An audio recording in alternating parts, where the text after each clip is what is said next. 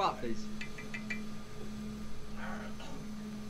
And now, for your own, your very own rapturous mystification and spectromorphic iridescence, I name this rubber ark the Rainbow Ffolly. And good luck to all who sail in her.